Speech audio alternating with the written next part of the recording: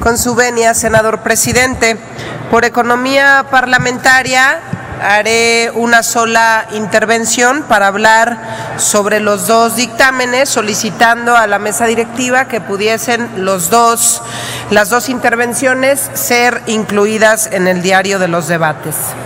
Primero, América Latina es una de las regiones del mundo más dinámica. Actualmente está viviendo una serie de transformaciones políticas, sociales y económicas que están marcando un parteaguas para sus ciudadanos y que también se traducen en oportunidades inéditas de cooperación que nuestro país, como líder regional, debe aprovechar mediante la suscripción de tratados internacionales que permitan detonar el potencial de la relación con los países de esta región. El primero que se va a discutir aquí es el convenio de cooperación técnica y científica entre el gobierno de los Estados Unidos mexicanos y la Organización de Estados del Caribe Oriental, que tiene como objetivo el promover la cooperación técnica y científica entre ambas partes a través de la elaboración conjunta de programas y proyectos de cooperación en áreas prioritarias de interés mutuo. El Caribe siendo una región estratégica en la que México tiene una presencia importante, pero que desafortunadamente no la hemos explotado como debiéramos. Los países caribeños generan el 40% del PIB, el 50% del comercio y el 60% de los ingresos turísticos de América Latina. En este sentido, debiera ser una prioridad el fortalecer y estrechar las relaciones con las islas caribeñas.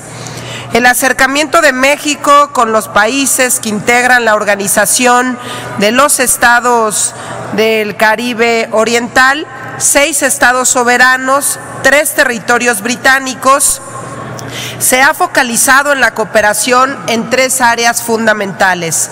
La primera, la agricultura, segunda, educación y tercera, la instrucción diplomática.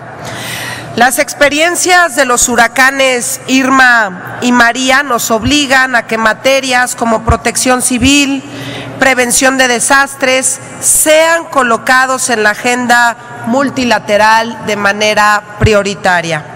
Con la aprobación de este tratado internacional, nuestro país refrenda su compromiso con la cooperación internacional para el desarrollo, un concepto integral que incluye la solución de problemas internacionales de carácter económico, social, cultural o humanitario y al mismo tiempo también impulsa el respeto a los derechos humanos y a las libertades fundamentales de todos.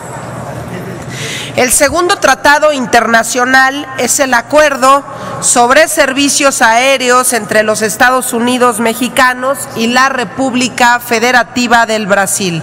El objetivo es ampliar las oportunidades turísticas, comerciales y de negocios entre México y Brasil, al tiempo que también se brindará certidumbre legal y operativa a las líneas aéreas mexicanas que deseen prestar servicios entre cualquier origen-destino entre los territorios de ambos estados.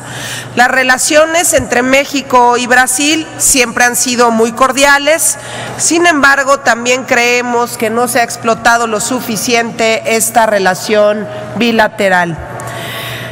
Según información de la presidencia de Brasil, México es muy atractivo para los brasileños por ser la cuna de una de las mayores civilizaciones que la humanidad vio desarrollarse en lo que es conocido como Mesoamérica, mayas, aztecas, olmecas, presencias que produjeron una serie de bienes culturales de enorme valor que es del interés de todos los países.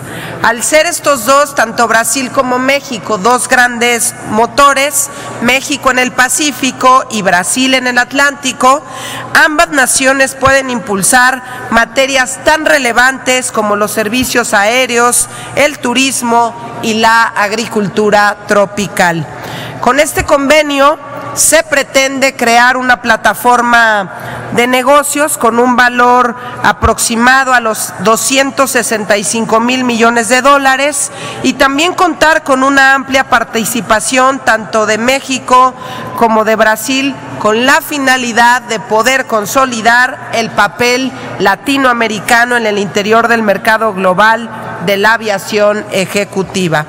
Este acuerdo va a ampliar las oportunidades turísticas, comerciales y de negocios entre ambos países al tiempo que va a brindar también certidumbre legal y operativa a las líneas aéreas mexicanas que deseen prestar servicios entre cualquier origen destino entre los territorios de ambos estados.